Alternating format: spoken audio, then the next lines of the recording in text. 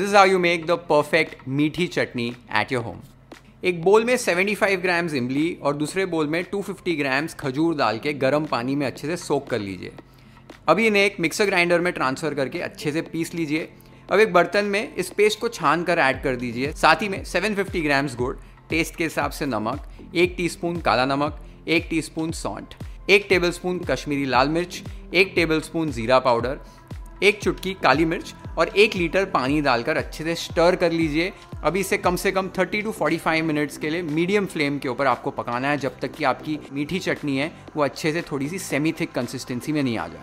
तो आप देख सकते हो इसकी कंसिस्टेंसी कैसे हो गई है। इससे अच्छे से ठंडा कर लीजिए और ये हमारी एकदम परफेक्ट और डिलिशियस मीठी चटनी रेडी हो गई है। ये वाली जो मीठी चटनी है, एक महीने तक फ्रिज में आराम से स्टोर करके रख सकते हो। बहुत ही अमेजिंग लगती है।